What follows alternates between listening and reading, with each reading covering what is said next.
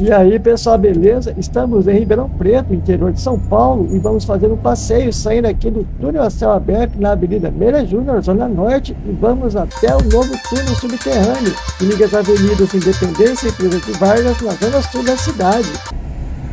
Eu sou José Nobre e este é o canal Pela Cidade. Estamos chegando na sua tela para mostrar ruas e lugares da cidade Hoje, pessoal, é sexta-feira, dia 8 de setembro de 2023 e agora são 17 horas e 50 minutos. Estamos passando agora pelo túnel a céu aberto aqui na Avenida Meira Júnior. Vamos seguir em direção à Avenida Independência e vamos atravessar o novo túnel subterrâneo que foi inaugurado no dia de ontem, dia 7 de setembro. Vamos chegar na Avenida Presidente Vargas, vamos fazer o retorno entrar novamente na Avenida Independência e vamos retornar até terminar aqui próximo do mesmo ponto onde a gente começou o nosso passeio. Você que está chegando agora no nosso canal e gosta desse tipo de conteúdo, caminhando ou dirigindo pela cidade, se inscreva no nosso canal também e ative as notificações para receber os próximos vídeos. Deixe seu comentário, seu like, compartilhe esse vídeo com os amigos Assim você ajuda o YouTube a divulgar nosso canal para outras pessoas também. E você que já é inscrito no nosso canal, eu agradeço a presença em mais um passeio e sejam todos bem-vindos. Acompanhe o nosso passeio através do mapa que está na descrição do vídeo e também pelos capítulos. Vejam também outros vídeos do nosso canal através das nossas playlists Lá temos vídeos dirigindo e também caminhando pela cidade. Agora estamos chegando na parte final da Avenida Meira Júnior. Aqui na frente é o viaduto que liga a Avenida Meira Júnior com a Avenida Independência. Estamos passando sobre a Avenida Francisco Junqueira. Após o viaduto, do lado direito é o centro da cidade e do lado esquerdo é a Vila Seixas. Agora estamos na Avenida Independência. Do lado direito é a Rua São Sebastião e seguindo sempre reto a gente chega lá na rodoviária e na Vila Tibério. O próximo cruzamento vai ser a Rua América Brasiliense e a gente vai deixar a câmera ligada direto para ver o movimento no horário de pico, um dia após a inauguração desse novo túnel. E além do túnel, esta semana começou a funcionar uma nova linha expressa de ônibus urbano, passando aqui pela Avenida Independência e seguindo até o Ribeirão Shopping. À esquerda aqui é o corredor especial de ônibus, e foi feita também uma passagem à esquerda ali ligando a Independência com a Avenida Presidente Vargas, somente para os ônibus e usando uma faixa da contramão da Avenida Independência. Acredito que isso vai confundir muitos motoristas e provavelmente vai acontecer muitos acidentes ali.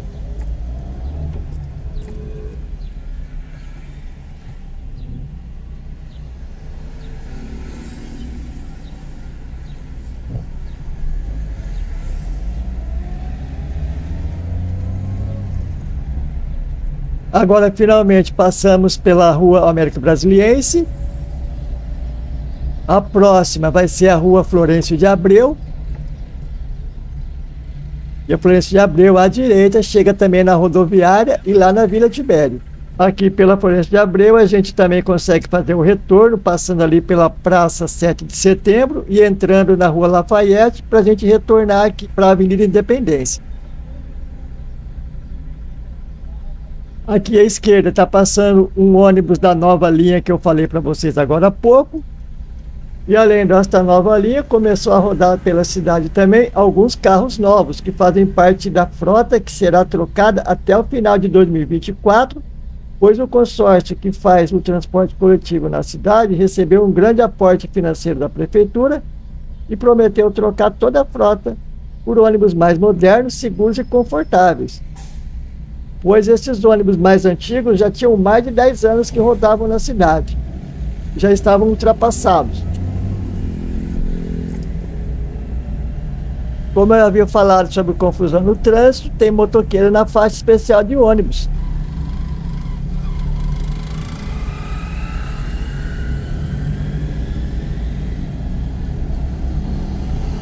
Agora vamos cruzar com a rua Lafayette. À esquerda ali na Lafayette, chega lá na Avenida Francisco Junqueira.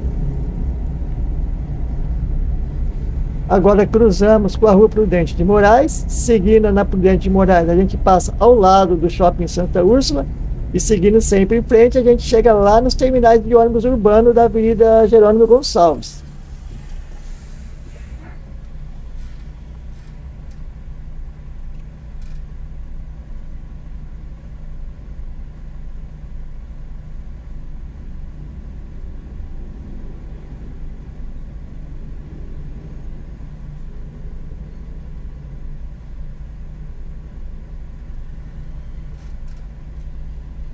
Agora aqui é a rua Campos Sales, que é onde fica a entrada do estacionamento do Shopping Santa Úrsula.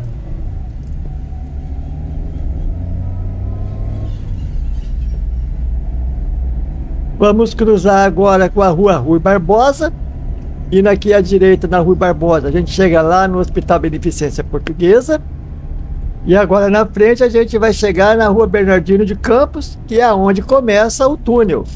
O sinal está aberto, agora vamos descer e seguir até chegar lá na Avenida Presidente Vargas. Como vocês perceberam, este túnel é de mão única no sentido único e somente para carros, motos e veículos de pequeno porte. Ciclistas e pedestres são proibidos de passar por aqui. Essa passarela que existe ao lado é apenas para serviço de manutenção. Como a gente pode perceber, apesar de estarmos em horário de pico, não tem movimento nenhum. E é um dos principais questionamentos que se faz: para que gastar tanto dinheiro numa obra que vai servir apenas para carro? No único sentido, uma distância tão curta, com o pretexto de que é para melhoria do sistema de ônibus urbano, sendo que por aqui não existe tantas linhas assim. Agora chegamos na Avenida Presidente Vargas e a primeira rua aqui ao lado do túnel é a João Penteado, em seguida é a Rua Eliseu Guilherme depois Altina Arantes e a próxima vai ser a Conde Afonso Celso, onde a gente vai entrar à direita para a gente fazer o nosso retorno.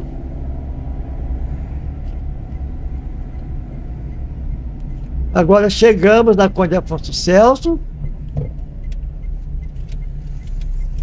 Agora aqui faz parte do Jardim Sumaré.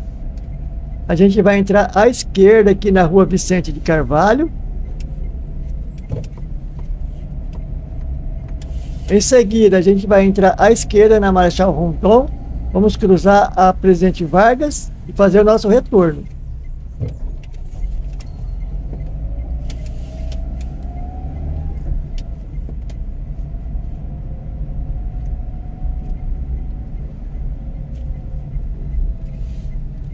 Aqui na frente é Jardim América. Agora a gente chegou na Presidente Vargas, vamos descer e vamos passar ao lado do túnel.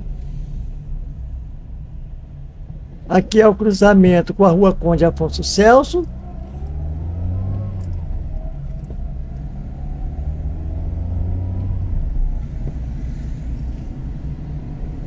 Aqui é a Rua Altino Arantes.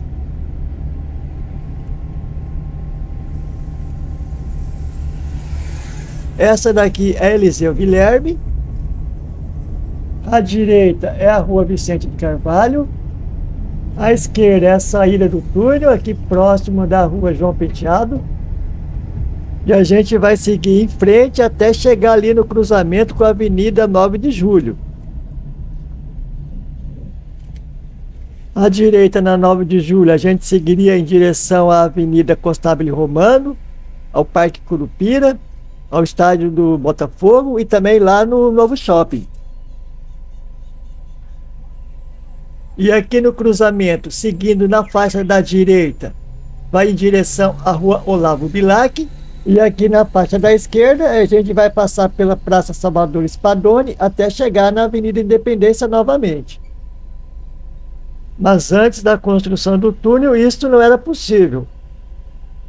Para acessar a Independência, a gente precisava entrar aqui na Olavo Bilac, depois na Quintino Bocaiúva e finalmente entrava na Independência. Antes da construção do túnel, este trecho que a gente está era contramão, pois era o sentido de quem vinha da Avenida Independência com sentido à Avenida Presidente Vargas. Aqui na praça tem também ponto de embarque e desembarque para ônibus. Agora é preciso muita atenção, pois tem um semáforo aqui na esquina da rua Quintino Bocaiúva e logo em seguida tem outro na esquina com a Avenida Independência.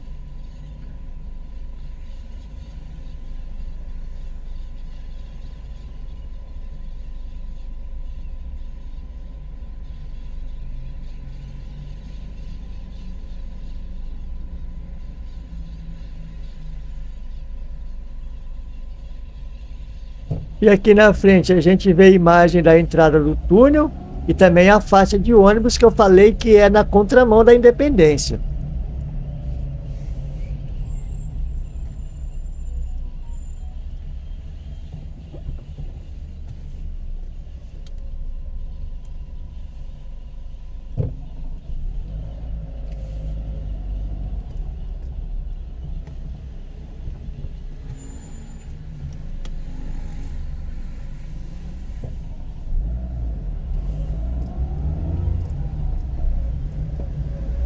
Agora a gente está cruzando com a rua Bernardino de Campos, que é a rua da entrada do túnel.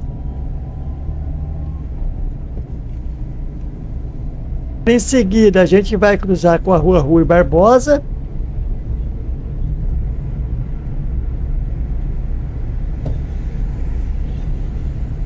Agora a gente cruzou com a rua Campos Sales e a próxima vai ser a Prudente de Moraes.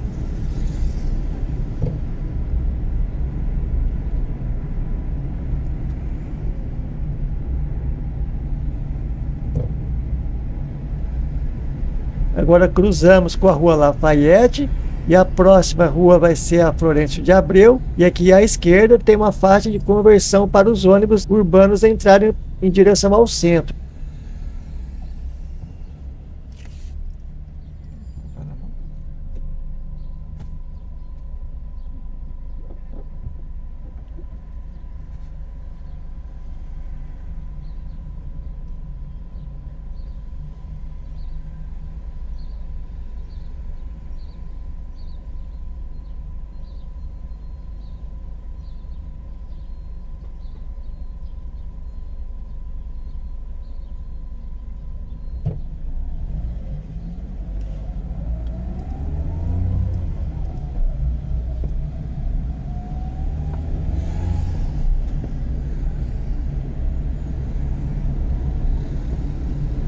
Quem é de Ribeirão Preto deve se lembrar que do lado direito aqui era a Rádio Luz, uma loja de iluminação que tinha uma réplica da Torre Eiffel em cima do prédio. Era um ponto de referência para quem passava por essa região. Agora estamos passando pelo ônibus da linha 902, que é que eu falei para vocês agora há pouco, que vai para o Ribeirão Shopping. E agora está passando aqui por cima do viaduto. Antigamente não passava nenhuma linha por aqui.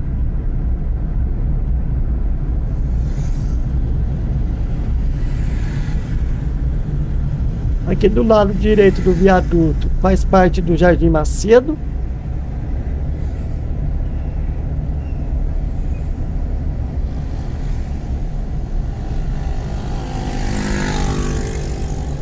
A gente acabou de cruzar a rua Henrique Dumont e aqui para cima do lado direito já faz parte do Jardim Paulista. Do lado esquerdo ali é o Jardim Mosteiro.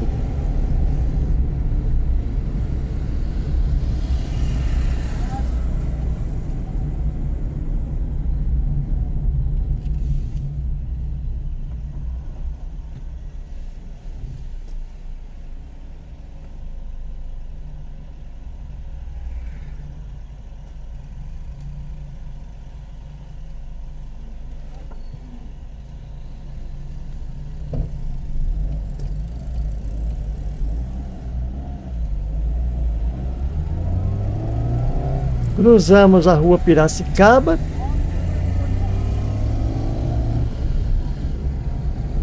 Se a gente se manter na face da direita, a gente sobe em direção à Praça da Bíblia e também ali a Avenida 3 de Maio. Ali do nosso lado esquerdo da Meira Júnior tem os fundos do Santuário Sete Capelas. Este viaduto a céu aberto, ele foi inaugurado em 1992 e serviu também de cenário para a novela O Rei do Gado de 96.